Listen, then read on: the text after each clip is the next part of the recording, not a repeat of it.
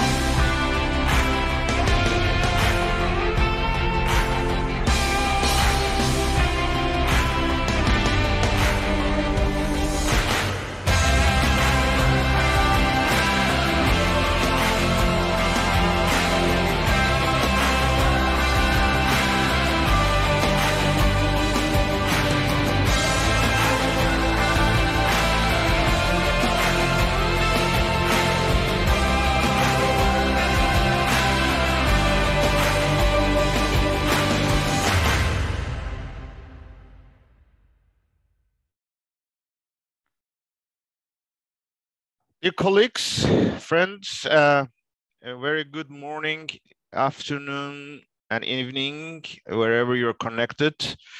Uh, let me share my screen once again. Okay, uh, so welcome to the, the August 7th uh, LGMA webinar towards COP27. Um, presented by ICLEI, Local Governments for Sustainability, in its capacity as the focal point of local governments and municipal authorities constituency. My name is Yunus Arikan. I'm the, the director of global advocacy, and I'm also the performing the task of the, the LGMA focal point on behalf of ICLEI and LGMA constituency. Um, we are now planned to have around one hour of a webinar that takes into that focuses on the basics of our engagement in the UNFCCC process, uh, our achievements from the last uh, COP, uh, the priority things that has happened in the past couple of weeks uh, since the last uh, webinar in July in particular, and our preparations for COP27. Uh, for those who are uh, joining us the first time, this webinar is recorded. I hope it is recorded, by the way. um, and um, uh, Alessia, if you can just check that, that would be helpful.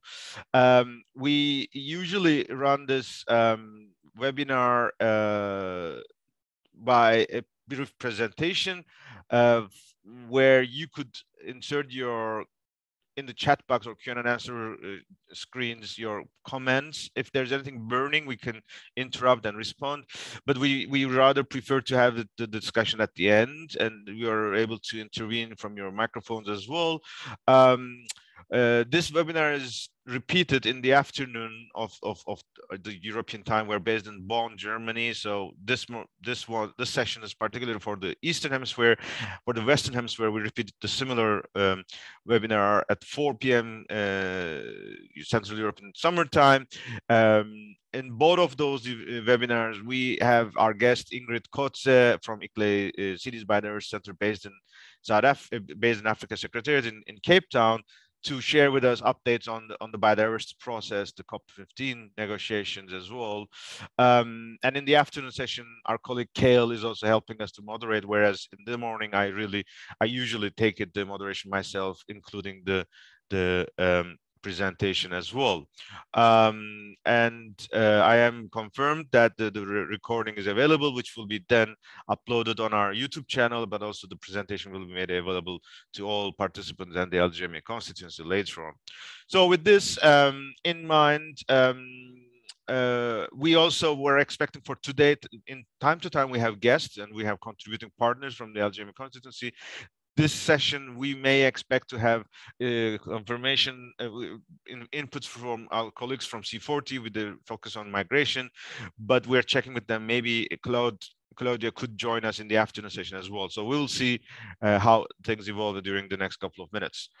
Um, just an introduction, the LGMA constituency is, is one of the oldest in the UNFCCC process. We were, uh, we have been following the process since the first COP. We are one of the three constituencies, along with business and environmental NGOs, the, the, the local government and municipal authorities constituency was following every COP since then. However, we all know uh, things have evolved, especially in, in the last couple of, um, in the last 10, 10 or 15 years, because the UNFCCC and Kyoto Protocol did not recognize uh, local governments as much as it was addressed in the Rio Convention, in the Rio Summit. Uh, the, the, the, the, Agenda 21 and Local Agenda 21 was a strong uh, legacy, but unfortunately, there was uh, certain challenges in the UNFCCC process. So until uh, around 2007, when there was a decision to rewrite the, the, the, the, the, the new regime, we were relatively less active, but starting from the climate roadmap, we had been actively involved. When we say we, I mean uh, the networks of local and regional governments uh, and their partners. Uh, as of today, we are reached to a, a group of more than 45 uh, networks who have been accredited to UNFCCC, which is constituting officially the LGMA constituency. But uh, we are aware the UNFCCC accreditation process is tedious, it takes time, and not every network can have this capacity. Therefore, the LGMA is, in practical terms, reaching out a broader community of, of partners and and, uh, and, and even if they're not accredited universities, especially if they're involved in the climate action, we engage them through our mailing list, and these webinars are also also, also open to public. Um, and and when we uh, participate at COPs, we also have particularly ICLEI and, and other others as well, try to accredit uh, our colleagues among those who are not in the accreditation system of the UNFCCC. What do we usually do is really we follow the negotiations and, and, and participate in the in the decision making as much as possible, providing inputs. Of course, decision making is under the authority of the, the national governments, but uh, we raise raise our voices, and we will just touch upon it a couple of slides later in, in terms of how we do it. Um, and these are the milestones, especially towards Paris Agreement. We made a very big mobilization after Paris, especially with Marrakesh partnership in the action agenda. We are very active. Uh, on the way to Glasgow, we focused on the the, the, the multi-level action to become the, the new momentum, the new uh, normal, and, and we managed to get this in the, as a result of the COP26 Glasgow Climate Pact. And now we're saying that the second phase of the Paris Agreement has started, and this has to be multi-level as a default uh, ingredient that is different than the, the previous one. So um, we have a website. Uh, it is now currently being updated, especially to catch up what we have left since COP26. Um, the daily, the week, sorry, the monthly webinars, the the the LGMA uh, videos towards the fifth anniversary of the Paris Agreement uh, are all available on our YouTube channels, um, as well as uh, you can access to our uh, documents in the website as well. Um, the previous recordings are were the previous sessions were held in these dates, and the next ones will be in September, October, November, December, as as as we have scheduled. As here you can see, once you register, you have access to all the the, the, the sessions in the morning and afternoon sessions. Um, just to recap, recap uh, we said that at, at COP26, time for multi-level action has come, and we managed to make this reality. This was a proposal from LGMA on the way to Glasgow from Madrid, we had this idea that time for multi-level action is the, the, the, key, and the outcomes prove that this has happened, and this has been embraced by national governments as well. Towards COP26, we have seen nations raising their climate ambition through collaboration with local regional governments, knowing that it's not enough, but there had been experiences that the national climate ambitions were raised because or, or when they engaged local regional governments. Meanwhile, 1,000 or more than 1,000 cities and regions committed to climate neutrality by 50, by 2050 and uh, ambitious targets by 2030. These are our, our preparations towards Glasgow. What we achieved at Glasgow in terms of physical presence, 400 plus uh, participants, delegations, 200 plus events. Uh, we have a pavilion. We have released our roadmap, uh, announcements on, on food, uh, biodiversity, the funds, um, uh, particularly Scottish loss and damage contributions, um, and, and, numerous bilateral partnerships and, and multi-level partnerships. Um, COP26 was unique into in the sense that multi-level action pavilion played a key role as being the home for subnationals uh, in the blue zone. Uh, it was managed uh, by ICLEI or facilitated by ICLEI, but hosted by Scottish government and supported by more, more than 30 organizations. Uh, and that became clear that this hybrid space will be our uh, secured and safe space throughout the blue zone. Uh, and we would like to repeat it in, in the Sharm el Sheikh in almost every COP from now on, especially now that multi-level has become a, an ingredient of the Glasgow Climate Pact. We don't have the luxury to not to have this multi-level action pavilion in the in the years to come, and this connects to our outcomes that we have huge uh, successes from Glasgow, uh, but a lot of uh, things to be done still on the way towards Sharm el Sheikh and beyond. Uh, we once again express our gratitude to all partners who contributed to the pavilion in Glasgow, and we'd like to repeat a similar success in Sharm el Sheikh. Um, for those again uh, cop is not the only and the main uh, yes it could be occupying our huge energy but it's not the only process or the only purpose for us. First of all we participate in the negotiations uh, by submitting inputs uh, by influencing the decisions and this is done by coordination internally throughout the year we followed especially the action agenda with the champions, with the Marrakesh partnership. There is a specific dedicated group called Human Settlements, consisting of buildings and uh, waste and consumption. But there are other thematic areas. Uh, we also participate in the Race to Resilience and Race to Zero, um, and, and, and other, other uh, data platforms and others, so that the voices of cities and, and action on the ground is visible at the subnational level, at the global platforms as well. COP presidencies in every uh, COP, this is a cyclic process. They have their own agendas. And for the years in the past, we have always had very fruitful relations. But obviously, the the way they introduce their initiatives, they uh, create their mechanisms are, are under their own prerogative. This does not have to follow the UNFCCC principles as, as per se, but they do their best to make sure there is this synergy in terms of the secretariat work and, and champions work but they also introduce new agendas new consultation mechanisms and every year we try to be a part of it as much as possible. Um, and we will listen. Cop27 presidency the incoming cop27 presidency is really particularly showing a very very remarkable good practice in that sense. And Finally, we are in collaboration with parties, the national governments, in, informally and formally, eh, especially in, in the consultations and also drafting of the texts, but also with the initiatives, with partnerships. We want to make sure that the multi-level concept is embraced by a group of parties. We are aware in the UNFCCC or in the UN, it's very hard to expect everyone to be on board. Certainly, some nations have much more uh, preference or priority for multi-level action uh, from the global north and south. Uh, we are very proud that this is an agenda that unites many, many stakeholders, many, many partners, and many, many parties. That's why it's important to continue this, this inclusive process and this important stakeholder consultation with the parties. Towards LGMA, uh, towards COP27, once again, we want to move or elevate from time for multi-level action to multi-level action delivers. We will see this is consistent with the vision of the presidency that it is the implementation and we want to make sure that if we have a second phase of the Paris Agreement, this has to be multi-level. This is focusing on NDCs. This is focusing on unfinished business on climate emergency.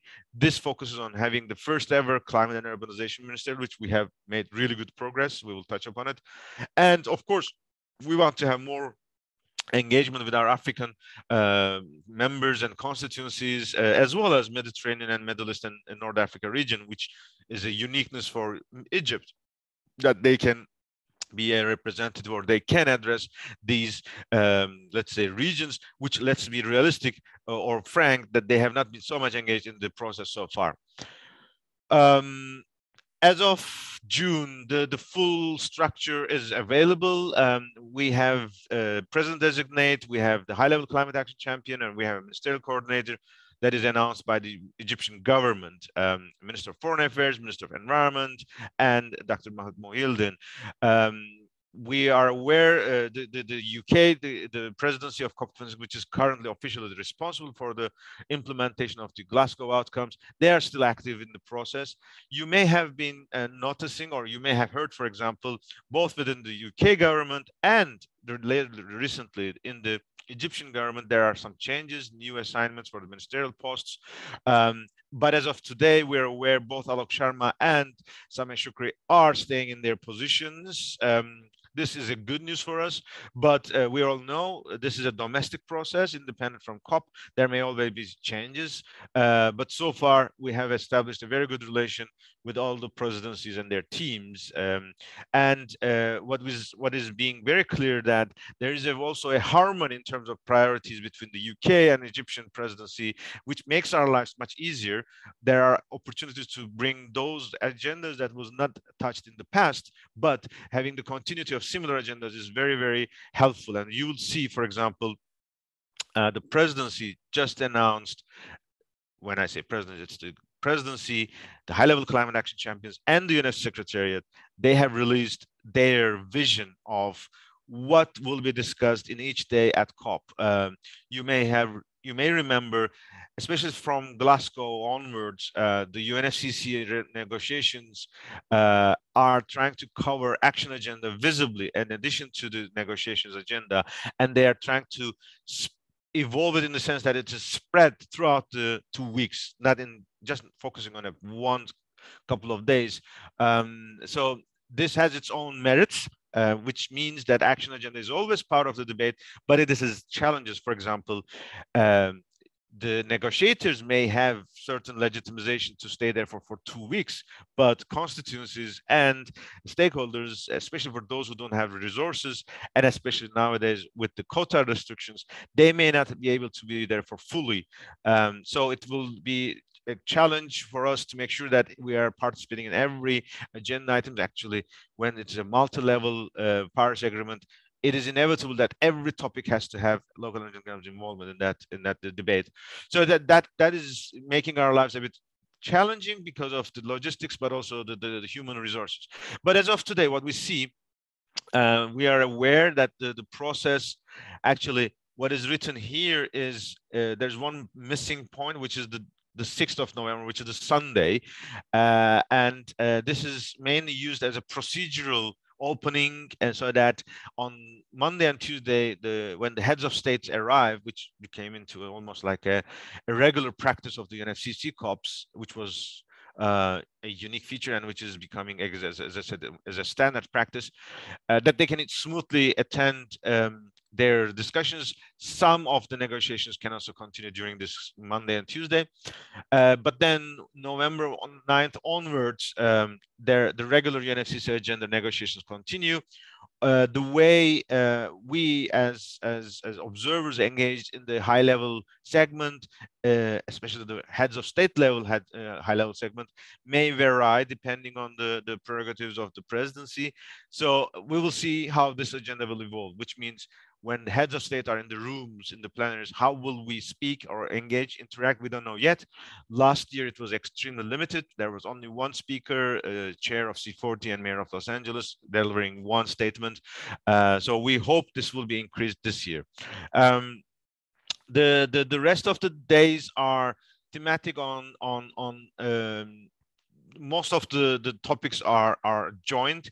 Um, there are some new additions. For example, decarbonization has become an, a, a phrase um, that, that has been entered into the system, which is, I think, is a very good uh, approach.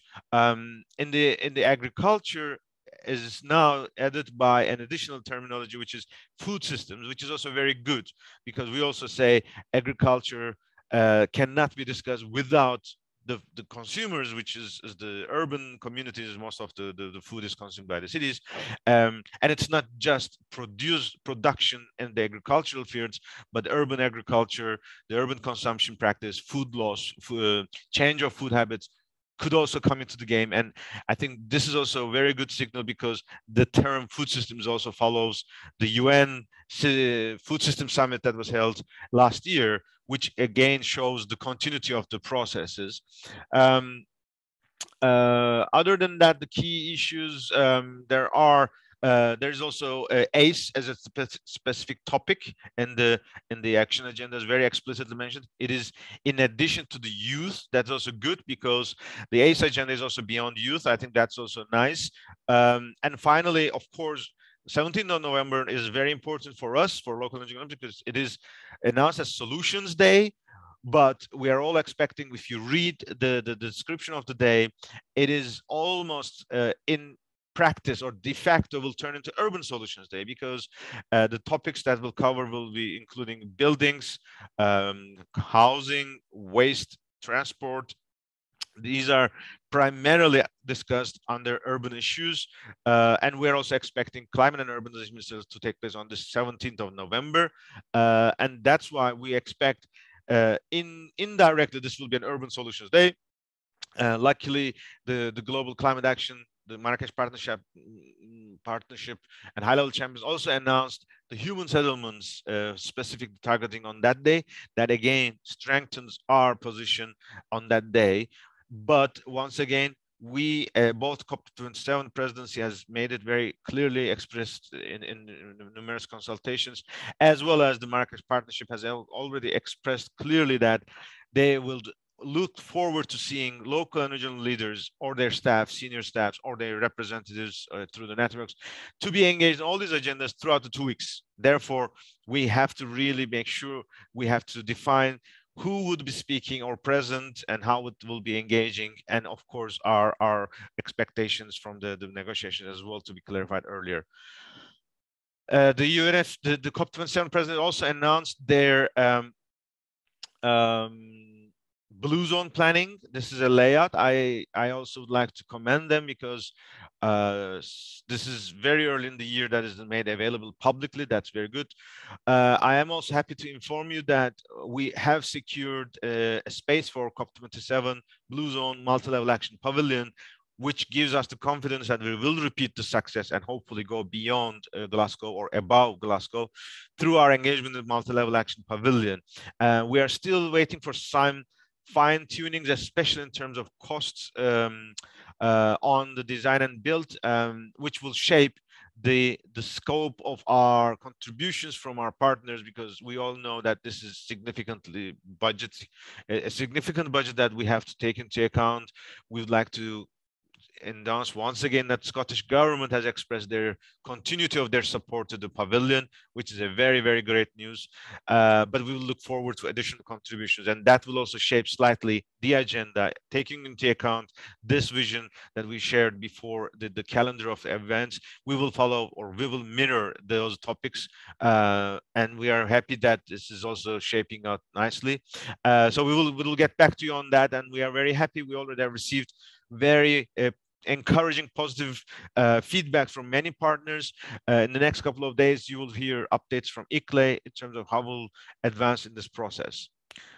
Uh, and we all know, um, or maybe you are all uh, aware with the mailings or the public announcements, we have a unique experience this year. Since the, the Bonn uh, conference in June, the COP27 president has expressed a clear interest to develop an initiative for sustainable cities in collaboration with the UN agencies, which is UN Habitat on behalf of UN, but also ICLEI as the LGMA focal point, which has been recognized as one of the most um, inclusive and, and, and, innovative practices that we have seen ever in the UNFCCC process. Um, we, as LGMA constituency, immediately reacted positively to this very warm invitation from the COP27 presidency.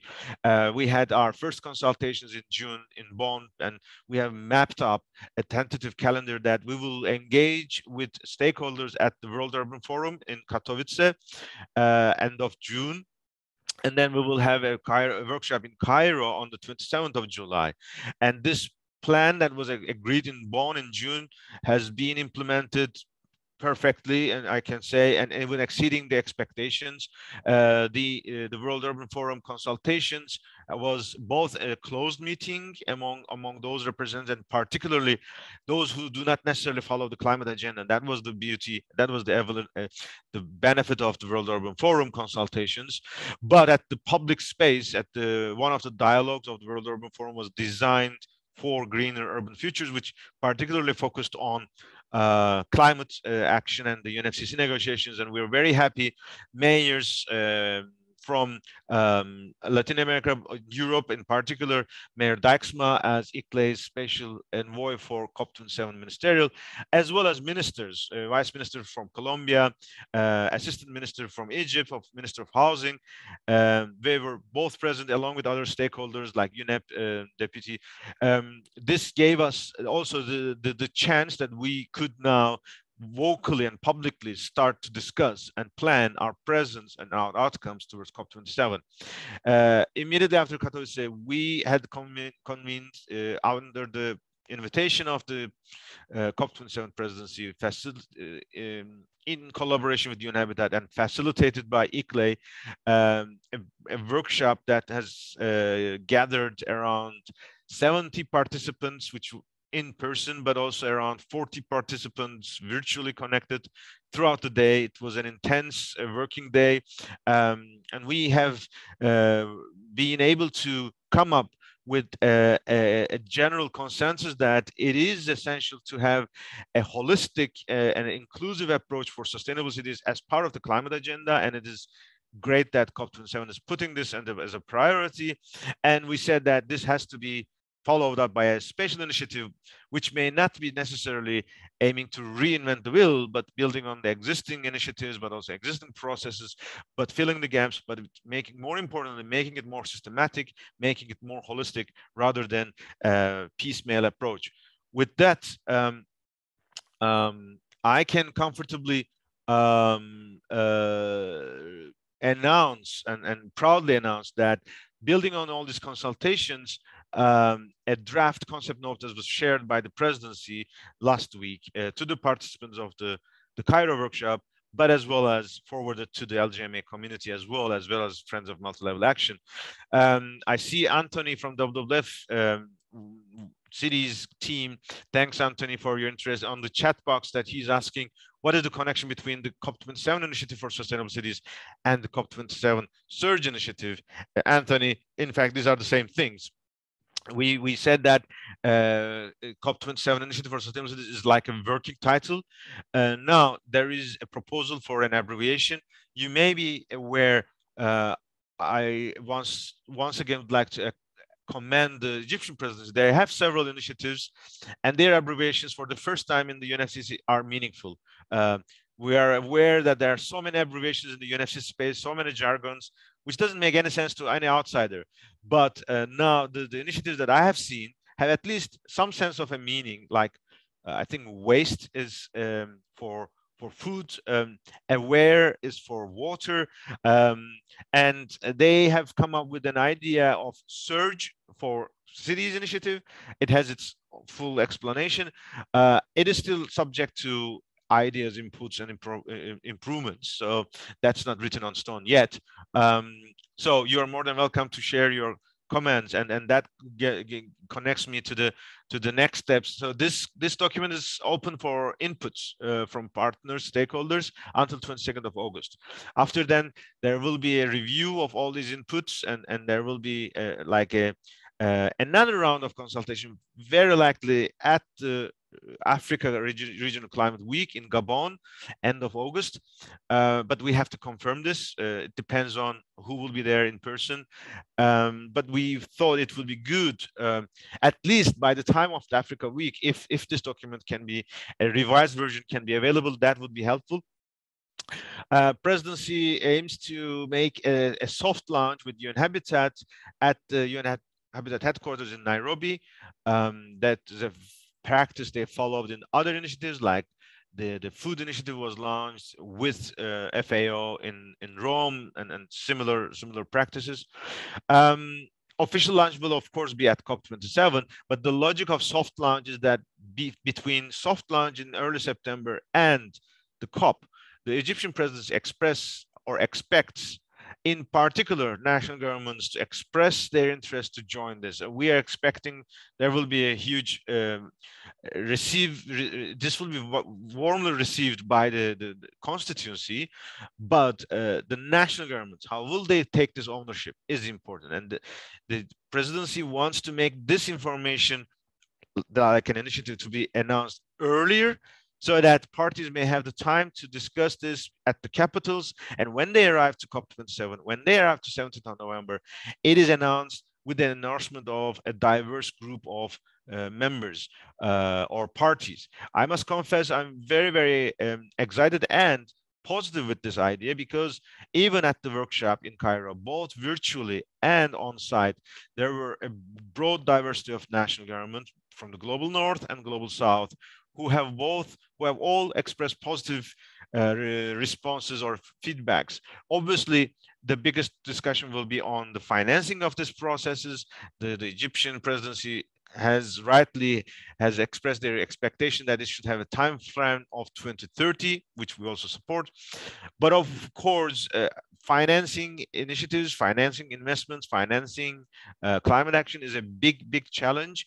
Yes, we are all aware this is not in the scale of the 100 billion dollar discussions, but still, uh, such capacity building uh, and institutional support budgets are even even more shrinked compared to the, the, the recent development so that it is not easy for national governments or convinced national governments to dedicate in kind or financial contributions to this kind of an initiative immediately. That's why there is a process that that's why there is an interest that there will be some bilateral talks. So it would be really good to to see official announcements coming um, rapidly so that we can comfortably say that this is a, a, a well received initiative and and finally of course one of the uniqueness and innovation of COP27 is not just the cities initiative. There was a number of initiatives in every COP, but the difference of this year is that there is for the first time a very clear intent to have the first ever climate and urbanization ministerial, which means climate ministers, which are the custodians of the UNFCCC process traditionally and legally, but inviting ministers of urbanization, ministers of housing, ministers of public works, or ministers of local governments to the COP so that they could also have a debate on what does urbanization mean in terms of ambitious climate action, vice versa,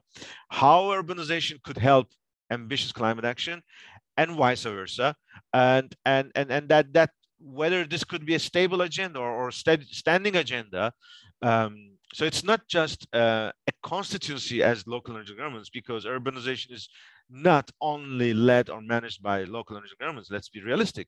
There are national governments, especially for the new cities that is developed across the, especially in the global south. The new cities usually are not developed by local energy governments, existing ones. It is mainly developed by planning agencies or ministers of housing or urbanization of the national governments. That's in one of the reasons why there should be a ministerial discussion. But when we say climate and urbanization ministerial, we as a default see that there will be appropriate uh, level of dialogue between the LGMA members, uh, leaders of LGMA and the ministers, uh, since um, it is not purely assigned to ICLEI or LGMA in the design of this ministerial, we are relatively um, in the second phase, in the second circle of this. This is primarily designed by the presidency and UN Habitat. Let's be realistic, but we will. We are already expressing our our wishes, our our contributions, uh, and uh, we still haven't seen any draft yet on on what it looks like this urbanization ministerial. But we are also aware on the 17th of November, very likely it will be the first ministerial in the morning, and it will be focusing on a broadest context, con context of multi-level and holistic urbanization, and then followed by several other ministerials, which are which may be more thematic or sectoral, like buildings, like resilience, like transport or mobility. So that this will be reflecting the true spirit of the solutions day that we're talking about urban solutions and urban solutions is also related to urbanization, but then each element of urbanization has its own uh, unique discussions and stakeholders to be on the board. Um, if if that day could be designed with this notion, I think we will really get to a very positive result. Um, I see Eva from CMR. Uh, since it's related to the Surge initiative, let me read it immediately. Uh, is there a way to join the, the, through the Surge web, but in a general way to support the principles of Surge and then maybe decide to contribute in a more concrete? I, I uh, in, in develop further and politicians attend COP20 so they fully understand content. I think uh, that's a very valid question, Eva. I recommend you to share this as a feedback to the document that we were shared, we have shared with you. Um, obviously, I think uh, we should expect there will be first comers, but it should not be closing doors for others, especially the more this is being uh, known by partners, the, the more engagement as well. So I'm expecting the COP27 presidency will not exclude that some, some networks or some processes, some partners may come later on. Uh, so, but it would be very good if you can indicate this so that they receive this feedback as well uh, and when they review all the inputs. So let's continue. Um, the other agenda, an important agenda of, of the process is that the global stocktake, as you remember, is continuing.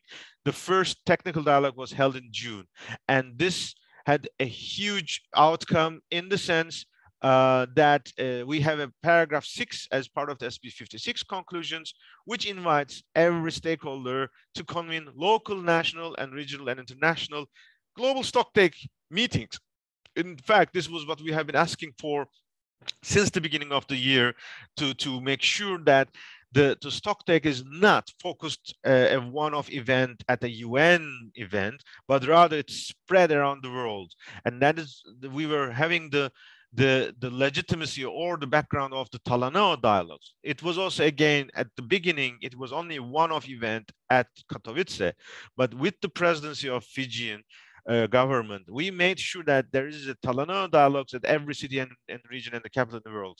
In that period, that made a huge impact because it was for the first time many stakeholders heard about NDCs, their NDCs of their national governments, and even those who prepare NDCs heard about local regional governments, how they can contribute. And that played a key role to bring more ambitious uh, NDCs towards Glasgow.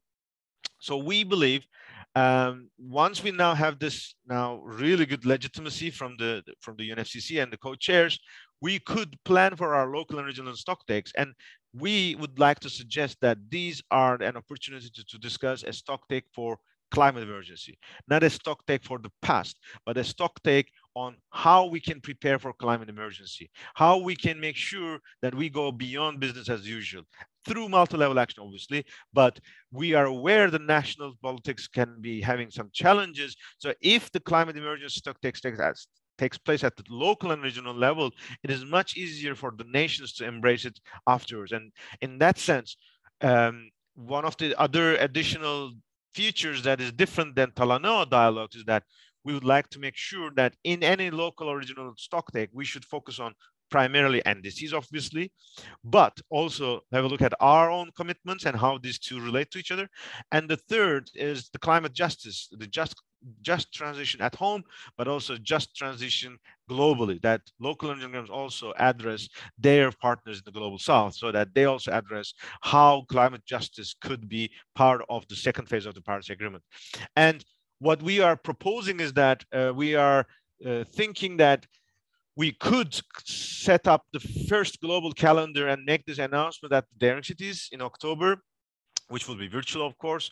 Uh, we have already agreed that throughout the LGMA annual cycles, we will make use of the global task force meeting in February as our strategic planning, and we will make sure the Daring Cities in Bonn as our culmination of our strategies towards COP27. So along these lines, we could kick off stock take for climate emergency by the LGMA members with an initial calendar in early as, as early as October. And then once we advance, we could also aim that we will convene the global multi-level stock take at the next daring cities in, in June in Bonn, in person and hybrid, uh, which will be just before the last technical dialogue. So if we can manage to make such a journey, uh, that will be a fantastic contribution that, that we can mobilize as much as possible input to the global stock take process. And with, with this, we will go to Dubai COP28 because the global stock take will conclude at the uh, COP28 in Dubai. So the third technical dialogue in Bonn is not the end of the process, but it's an important milestone. And if we can have a global multi-level stock take, that will be a fantastic both continuity of our achievements at COP27, hopefully, but also set a very important pace towards the, the global global stock take that will happen at the UNFCCC. Uh, we have seen over the past years, if local governments declare their climate emergencies, if they commit to neutrality, national governments can much easily take this up. And we have to say, we have to follow the same spirit and practice that stock take for climate emergency primarily starts at the local and regional level. And with those friendly national governments, we could take it to the global level. So let's let's aim, plan for this and we will get back to that. We are like every stakeholder are expected to submit our inputs. We would like to submit um, are statements during the first technical dialogue and one single document, uh, including the statements on adaptation that Regions 4 and Committee of the Regions have also made. Um, we will also share in this input this vision that how we would like to take it forward. But uh, submissions are also not necessarily extremely limited by time. Obviously, the earlier uh, the deadline is better because the secretariat prepares a synthesis report, but you can always submit uh, additional uh, submissions uh, throughout the year. So let's plan for such a mobilization so, so that we make sure of uh, our preparations that focuses on the initiative and the climate and urbanization ministerial as a key point, but also invest heavily to plan for our stock take for climate emergency as well. Um, finally, this is the last slide. Um, our calendar is going on. Obviously, this is uh, a list of events that we have covered in the past couple of months and in the next couple of months. Um, this year will, this month will be heavy because of the the Urban 20 Mayor Summit in, in Jakarta, as well as the Africa Region Climate Week. September will start to be getting busy. Uh, there will be UN General Assembly, but we will also see um, the the uh, Clean Energy Ministerial Mission Innovation. Uh, the G7 on urbanization will take place on the 15th and 16th of September.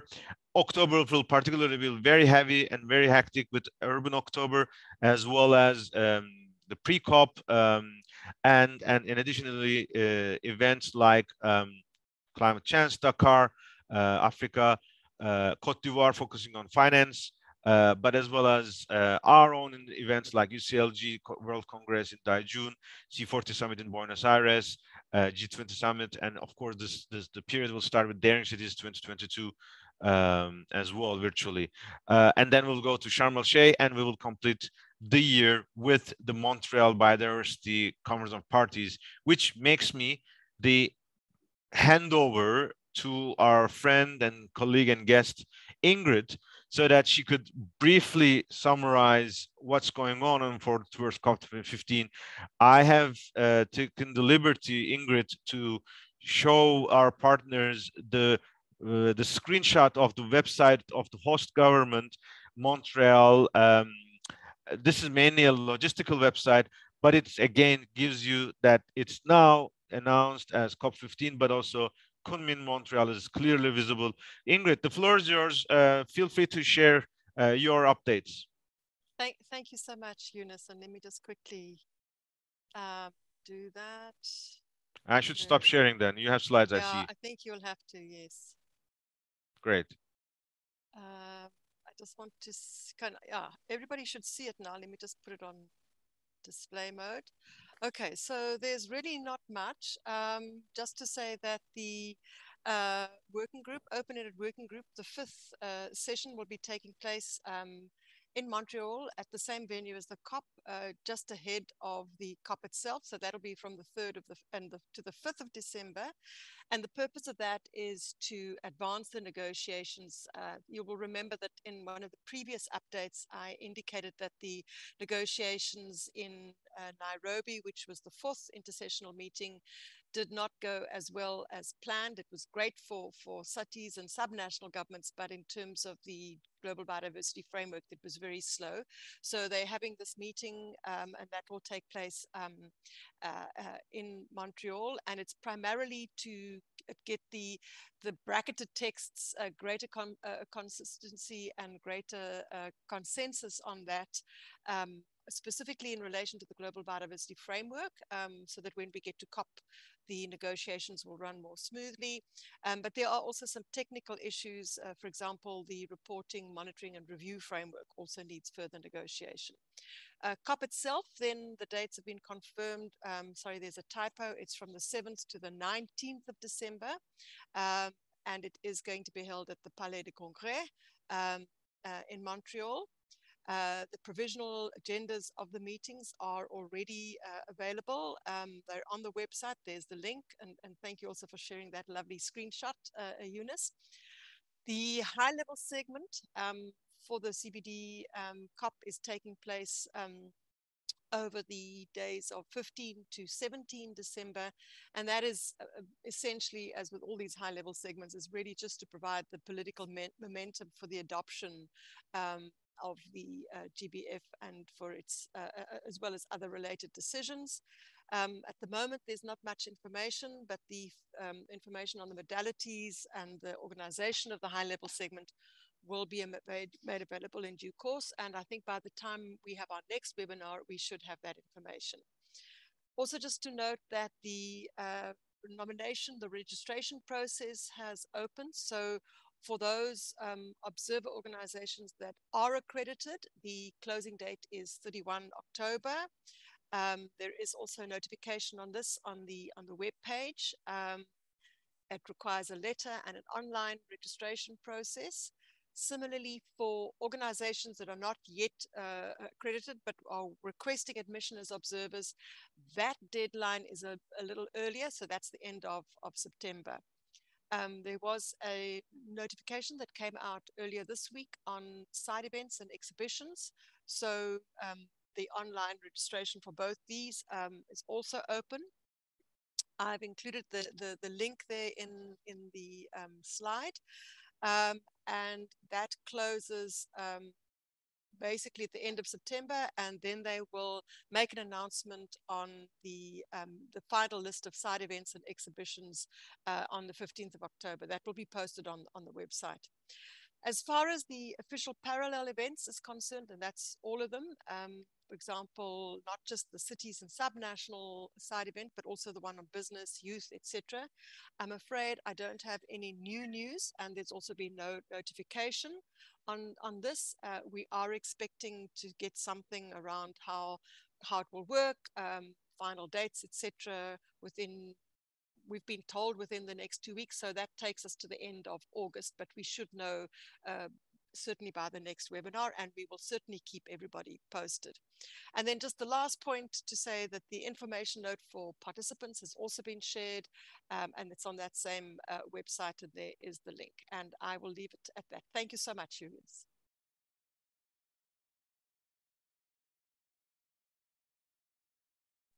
Thank you, Ingrid, uh, and congratulations uh, for your progress so far.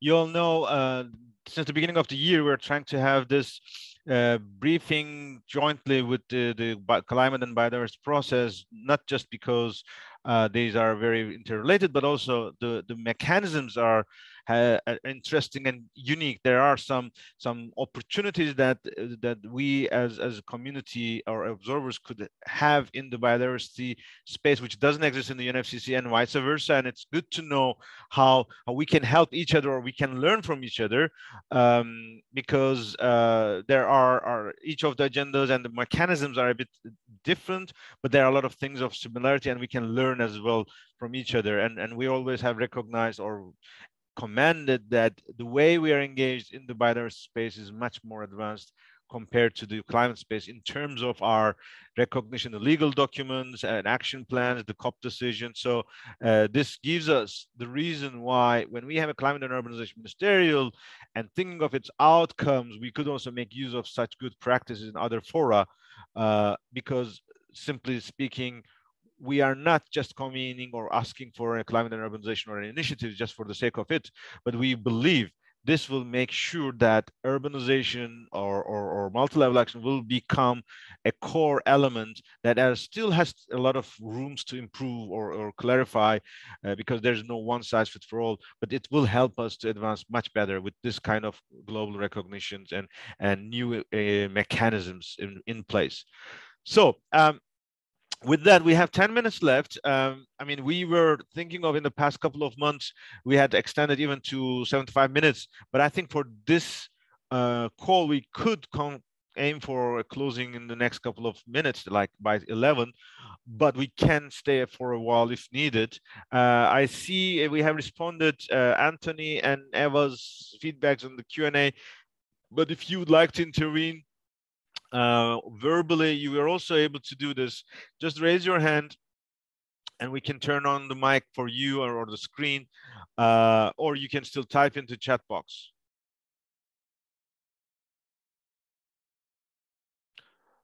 Let me just put once again my slide if helps.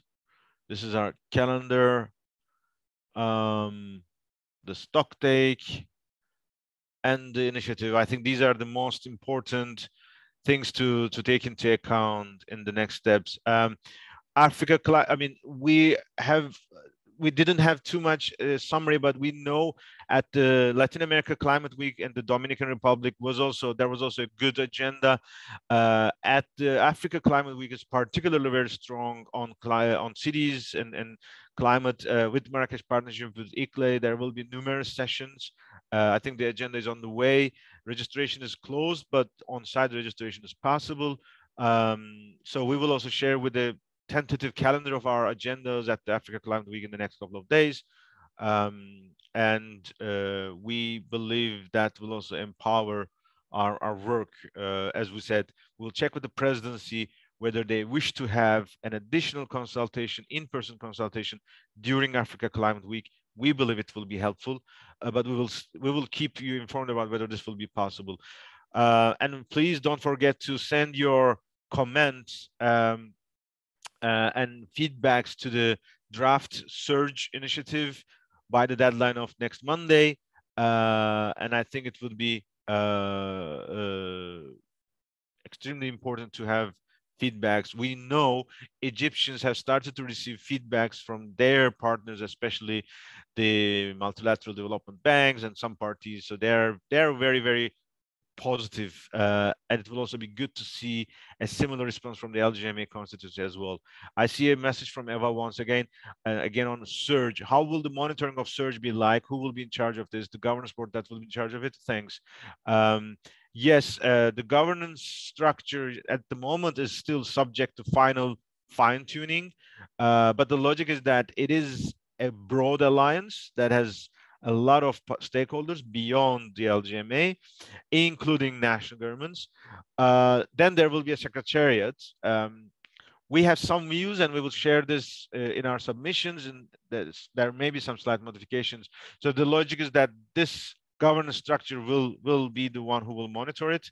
And again, we all say that this is subject for final improvements during consultation period and i think it up to cop 27 so we cannot think that it will be just closed down in just a couple of weeks um, i think the key is to receive a, a promising feedback for endorsement that presidency feels confident that there is a buy-in even there are concerns or there are recommendations or there are differences in the way to roll this out in terms of governance and, and, and implementation.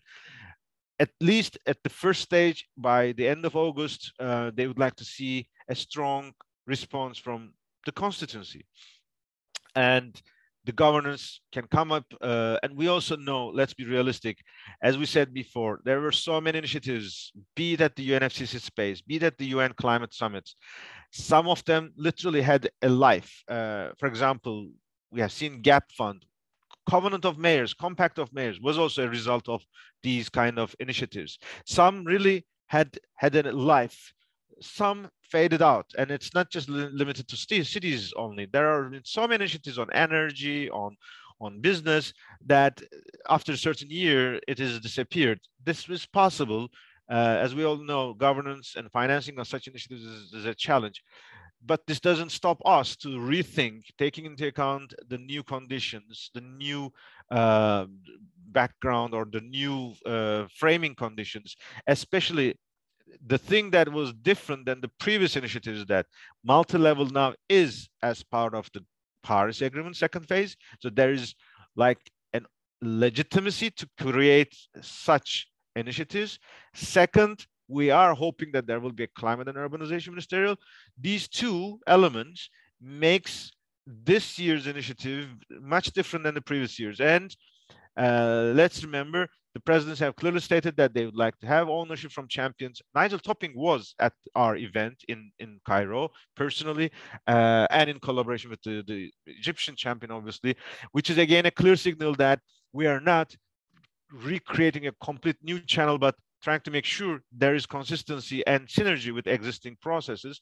Therefore, I, I would uh, tend to um, feel that there are a lot of new ingredients or inputs to make sure this initiative being more ambitious or successful compared to previous ones. And if even if this fails, this will be another lessons learned for future activities. So we should never give up creating and inventing and, and making sure that the, the key issue is that climate action is not in the level of ambition that we all need to be. And any initiative, if, if this could help us to more, move forward, it should be welcome. Um, and, and, and of course, one of the biggest, very, very ambitious um, elements is that in no way we had as LGMA been involved in this process so actively. Uh, in the past, we had been a bit in the different processes, but here it's the first time that we are really so much involved in the in the design of it, in the kitchen of this process. So that's another reason why we should be very, very uh, hopeful. Final, I see a, a feedback from Anika Naju RLP, who is your target for participation in COP15 and your events before COP27? Um, Anika, the events uh, all have their own specific mandates and mission and target groups, but over these years, we have seen that these are multi-stakeholder events, be it Daring Cities, be it uh, regional climate weeks or climate change.